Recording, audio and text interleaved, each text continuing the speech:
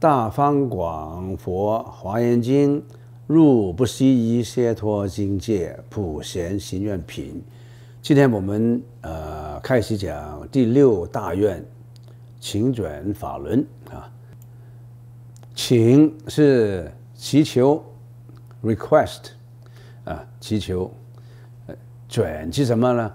自己已经得到的，你转教他人，转啊，请转啊，请转啊，祈求，呃，转到把那个法转到别人。法轮是比喻佛陀的呃教法，转法轮呢是指宣传宣说佛法，呃，广化广度众生这个意思。为什么以轮来比喻呢？因为轮有三义，有三种意义。第一，运载义啊，佛法好好像车一样啊，能运载众生从生死的此岸渡过烦恼的中流，直登涅槃的彼岸。就是说，这个是 paramita 啊，啊是六度波罗蜜 paramita 嘛，para 就是彼岸。彼岸是已经觉悟的彼岸，此岸是迷的。从这个此岸到了彼岸，渡过烦恼的中流，那所以就用用车轮来比喻，呃，运载把它运载到从一个此岸到彼岸，到彼岸大概就是已经达到了涅槃的境界了，已经不需要流转生死，啊，最少呢也是最低限度，也就是。啊，阿罗汉的境界了，到彼岸了嘛？如果是你要到此岸到彼岸呢，你需要六度波罗蜜，zat 波罗蜜，就是一点一点的修行，不失其戒、忍辱、精进、禅定、般若等等。啊，如果是十波罗蜜啊，叫利波罗蜜、愿波罗蜜、智波罗蜜、方便波罗蜜啊。第二呢是摧斩意，摧斩斩过佛法的智慧，能够摧。呃，吹破众生无名烦恼，好像转轮圣王的轮轮宝，降伏众魔，令修学佛法的人超凡入圣，成就无上正等正觉。就这个轮子吹破了魔烦恼，吹破烦恼，斩破烦恼。轮也有圆满的意思，圆是轮子是圆的嘛，round 车轮。车轮是圆的嘛？比喻佛所说的教法圆满无无碍，圆满无缺，能令人到达了究竟涅槃圆满的觉悟啊！那个意思就是这样。请转法轮，就是请祈求，呃，将将那个佛法乃至其他的善法啊，呃，转到别人啊，令到别人开悟。令到别人好像给他一个呃车一样的，从此岸到彼岸，也把他斩破了他的无名烦恼，呃，得到了圆满无上正等正觉的意思。最初转转法轮的时候呢，就是呃大梵天王，释迦牟尼佛修了苦行，到了最后了，他成佛了，经过很。困难的那个苦行难行，释迦牟尼佛苦行，有人说是六年的苦行，也有人说是八年的苦行，大大概都是六到八年之之间。但是释迦牟尼佛修的苦行，不但是这一生的苦行，生生世世以以前生已经修了无量的难行能行难忍能忍，修了无量的那么多法门，经过很多困难，完了才到那个。呃，enlightenment 就是觉悟。本来觉悟了以后成佛了，觉悟以后可以超脱生死六道轮回了，已经自己已经觉悟了，从那个烦恼的彼岸到涅槃的彼岸，不要再接受那个生老病死、生死的苦恼。那个时候呢，本本来他可以释迦牟尼佛可以进入无余涅槃 b a r i n a v a n a 就是。呃，自身发出一种火光，把自己的身身体一烧，身体这个身体不要了，这个是臭皮囊啊！我为什么我们有这个身体呢？我们说我们这个身体很宝贵，当然很宝贵，因为你我们修行就靠这个身体啊。但是从另外一个角度来来讲啊，我们不要执着了自己的身体，这个身体是业障的身体，因为我们有欲念，三界无安，由于火灾，众苦充满。我们以前在三口一里面做了很多业力，所以我们要流转轮回，到了三恶道。做了不好的事，到了三恶道；做好善善事，到了三善道、善道啊，这样不不断的流转生死。但这个身体没有了，进入涅槃了。那么本来是释迦牟尼佛就想进入无余涅槃。为什么释迦牟尼佛这样这样想呢？因为佛法甚为甚为高深难懂，不容易懂的，非常难懂的。非凡夫所能理解，凡夫很难理解。就是我们平时我们弘扬佛法，我们就是尽量的用简单的言语，而且我们所认知的也是那么高深的佛理啊，只是认知到佛理的呃一部分。我们可以说我们全部把佛理都通了，我想这个非常困难。唯有。菩萨是可以通全部通那个佛理，等我们了解一点点，已经那么困难了，已经经过几十年的功夫才了解一点点唯识、天台、念佛法门、密宗、律宗等等十大宗派啊，我们要学的法门无量啊，很难懂的，就是缘起这个法已经难懂了。释迦牟尼佛说说。缘起之法深深难懂，我们普通的就是普通的义理而已。那言缘起、业感缘起等等，都是呃普通的一种理论啊。但是这个普通的理论已经已经可以给我们去思维了解佛法，但是佛法确实是非凡夫所能理解。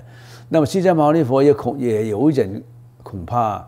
呃，众生，呃，那个怀疑佛法，因为他不懂嘛，深不可测嘛，就毁谤佛法了，怀疑不明白不相信，就开始可能有有毁谤的之嫌了。所以后来，这释迦牟尼佛打算啊，不如涅入涅盘了，离开这个世界，不住在这个世界。后来大梵大梵天王等圣众。从天下凡到顶礼佛陀，呃，恳请佛陀留在世上，请佛住世嘛，请转法轮嘛，留在世上，呃，广度一切苦难众生。所以佛陀啊在住世四十九年弘扬佛法，就是这个开始，请转法轮就是大梵天王开始的，而这个故事。也是有它的根据，有它的因果关系的根据。释迦牟尼佛说啊，他就他以以在经典里面说过几句话。他说：“如我实行菩萨道时，劝请诸佛转大法轮。”以前释迦牟尼佛修行的时候，他是菩萨，从初发心、实住、实行、实回向、实地，一步一步的发心的时候，到了菩萨道的时候呢，他。常常请佛、请菩萨讲佛经、转法轮，常常是请的，有这个功德。所以到他成佛的时候，大梵天王、地西等等呢，都请他请转法轮，有因有果。所以你做善的因，有善的果，而且很微妙的。你劝人信，你劝人讲佛法。你得到了佛法的益处就很大了，不但是你有功德，令令到一些众生都可以听佛法，可能对你自己的修行呢也有必然的一个帮助。好，这这个是最初的法门。那么为什么要转那个法呢？那个法，我们说法是 dharma，，通常法是 dharma 是普通的一切一切的事情。也有说，Dama 是佛法，佛法。那么我们这也可以一点一点的讨论讨论，什么是法呢？法，Dama，法是泛指一切事物，从广大如呃宇宙到细小如微尘，乃至一切的言语、思想、观念、见解、理解，都称为法。就是我们的想象啊，没有一样不是法。我们以前讲唯识的时候，在那个《瑜伽师地论》，弥勒菩萨把一切法统归为六百六十法嘛。那后呢天亲菩萨说，六百六十法，我们凡夫我们这个智慧不够，他为了方便凡夫了解明白的那个六百六十法，就把六百六十法再简化为一百法嘛。所以一百法是已经包括了一切事、一切物等等等等，这个就是法。法有两重的意义：一是认识即性，第二是鬼生物解。怎么认识即性呢？每一法、每一事、每一人、每一众生都有他的即性，有他的即性。呃，有很多人说。呃，以前不是说没有自信吗？一些法没有自信吗？为什么说有法有它的自信？这个自信，这个那个自信不同。这个自信就是这个是随缘而生的自信，它也有自信。呃，譬如说火有它的冷性、燃烧性，这个就是火的自性。火有这个性能的吗？水有它那个实性。啊方有它的流动性，呃，地有它的坚硬性，每一个四大都有即性，人有他的性格，他的本性，动物也有它的本性，每一种动物它有个别不同的即性，这个即性不是我们说一切法没有即性的即性是空的，不是这个那个另外一个讲法，那个就是性，就是它有它的 personality，它有它。本来生出来就有这一种自信，这个是认识自信，它有一种自信，它不会混混杂的，不会混乱的，就是风不会说是风就是水，水就是风，不是，这有它的自信啊。那个每一样东西有它的自信，computer 有 computer 的自信，它的自信是可以 communication、programming、chips、memory，它有它的自信，嗯。铜、铁也有它的记忆性，mineral 有 mineral 的记忆性，花有花的记忆性，啊，这个是认识记忆性。鬼生物解是什么呀？怎么样呢？法有一定的标准、规则、道理、名称与表现方法，它的表现的方法，能令到我们对这个事物升起认识、了解。比如说，你说花的时候。有这个名字嘛？你一说花，我就想到花的美丽，花的花的颜色，花的香。因为鬼生物解，就是每一个东西都有它那个标准，它有它的名字，它有它的道理，它有它的生长的过程。你说的活，大家都叫这个活，有它的名称，一定有名字，一定有道理，一定有它这个性能，我们就可以讲出来嘛。所以这个每一个法都是有这两种特性、规格啊，它的道理啊，它的名称都都有一点不同的。那么有很多人说，那个就是法呢，就一切泛指总称一切法就是法。那么佛法有没有即性啊？佛佛法是什么法呢？佛法这个佛法的性是什么？这个性我们知道啊，某某人有他的性格啊。火有火的性，水有水的性。那么佛法的性呢？佛法有没有有没有性的？佛法也是法嘛。一切法都有其法性。佛佛有法性吗？我们看《大智度论》里面卷三十七怎么讲？法性者，诸法实相。诸法实相是什么？诸法实相。在不同的经论里面讲那个法的性啊，都用不同的名字。《金刚经》讲真如，《心经》诸法空相，这种空相是诸法空相，不生不灭，不垢不净，不增不减。是故空中无事无受想行识，它的实相就是它的空相。那么法的性呢？法的性很难了解，很难知道，但是我们也要知道啊。在经论里面也有很多名称，很很有很多很多这个名词啊，都讲的法性，诸法实相，诸法实相就叫做法性。那么诸法实相再讲的明确一点怎么样呢？除心中无明诸结使，以清净实观的诸法本性，名为法性。我们众生有无明，如果是我们。修经过修行，把这个无名去掉了，观到法性的时候了，我们就知道那个佛法的法性。性的意思是真实，如如不动的。因为众生邪观故复，什么意思？众生因为执着了外境，用邪去观，不是用用呃。正去观，所以他就受绑了，受缚缚，触绑着他了。他无名把那个烦恼把他绑住了。正观不解，如果是他用佛法正观去观他呢，好像把这个绳子都解解脱出来了。实性与无名何故？变异这不清净。如果是你。不清净，里面有烦恼啊！你无名盖住你的你的真真真如，无名里面把你的清净盖住了。那个时候，无名那个真心就变为无名，无名就是生灭法了，就是新的生灭门了。本来是新的真如门，变得新的生灭门啊！所以他的本性法性清净。那佛有法性吗？佛的法性如如不动，本来清净。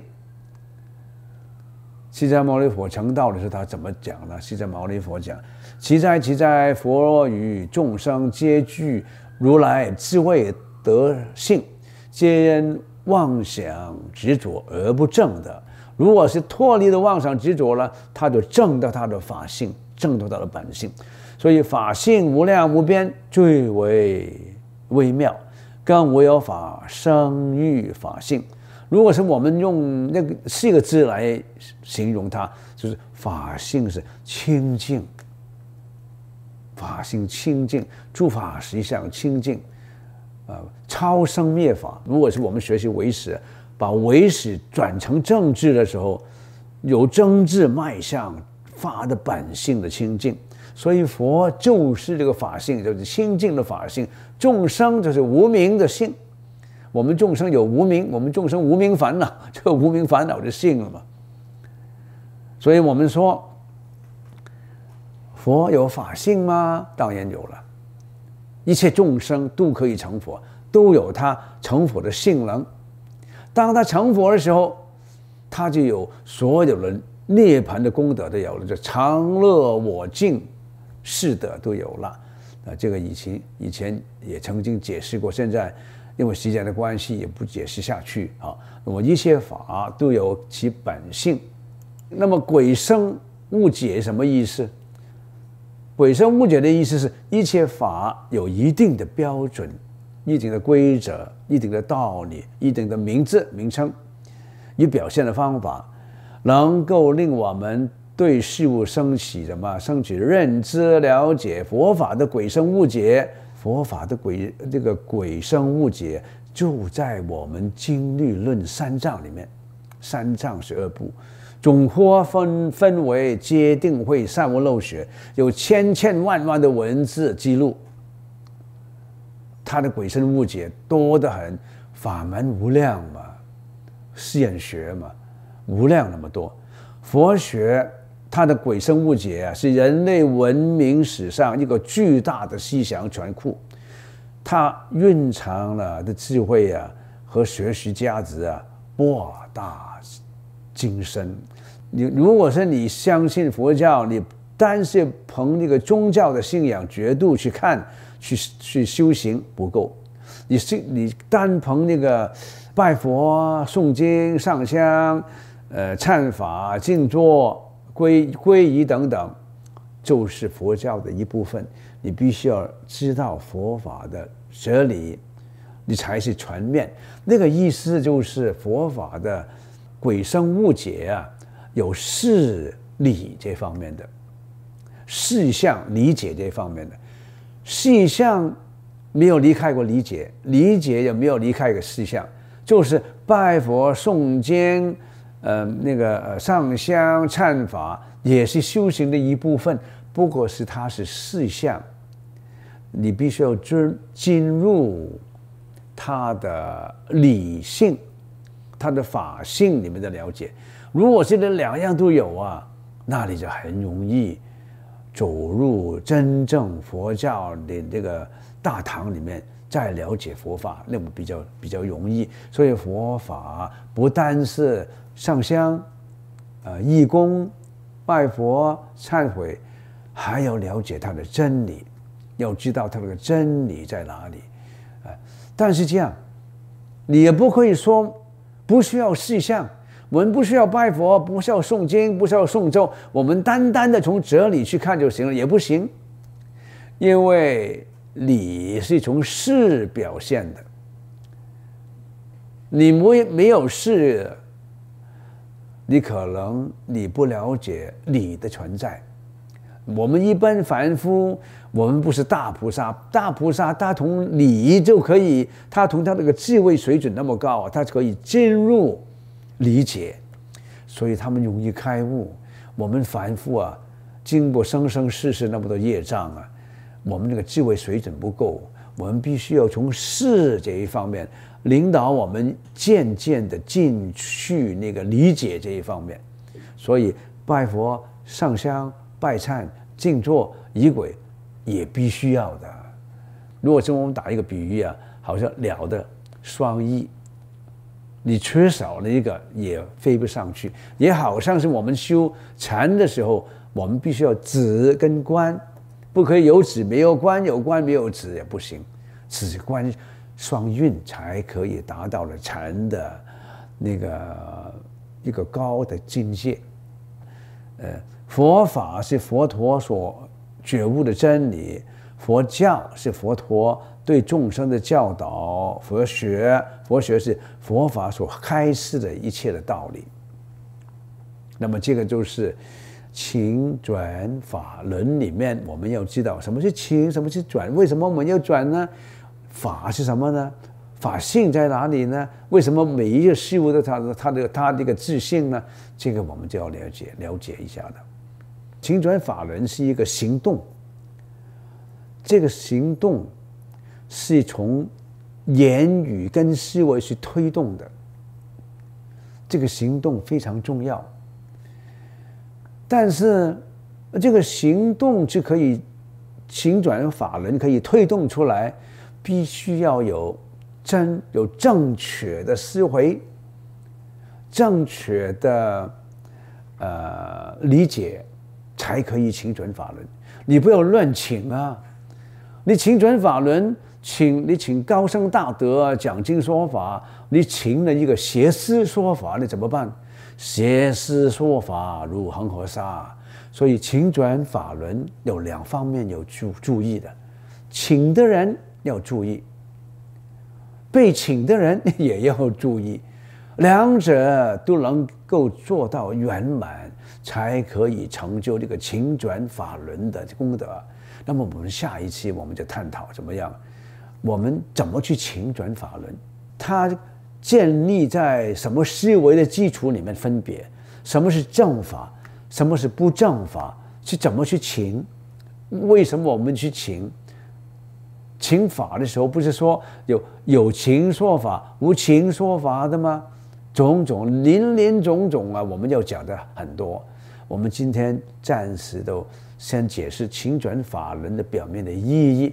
我们下一期我们就是要呃要讨论呢，去怎么去请法，请法要注意的有什么事情？呃，如果是我们请法请的不对，那么就可能产生一点。偏差啊！我们下一期再会啊。